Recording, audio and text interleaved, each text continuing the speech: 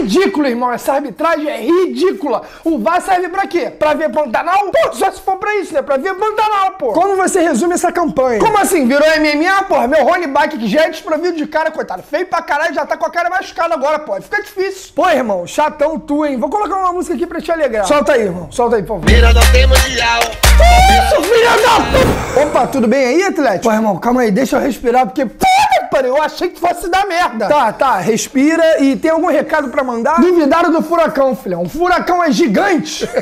eu, tá rindo do quê? O que, que eu vi aí? Risadinha aí atrás? Por quê, irmão? O que você tá planejando pra ganhar da máquina Flamengo? Ah, filho, tô pedindo reforço, né? Já falei com o pastor, pai de santo, pedir energia positiva de todos os clubes do país aí, pra ver se o bem vence o mal, dá uma unha encravada lá naquele Pedro lá, vai que a gente dá sorte. Aí dá furacão. Pô, tenho certeza que vocês querem coletiva, cara? Já não era meio óbvio isso? Não, vamos seguir o protocolo. Tá, tá. Porra, chatão, mano. Caraca. Como você se vê chegando a mais essa final? Soberania é a palavra, filho. Três finais com duas vitórias diferentes. Ué, duas? Pô, tu tá achando mesmo que aquele Ventinho vai arrumar alguma coisa com o Mengão? Guayaquil vai virar um inferno.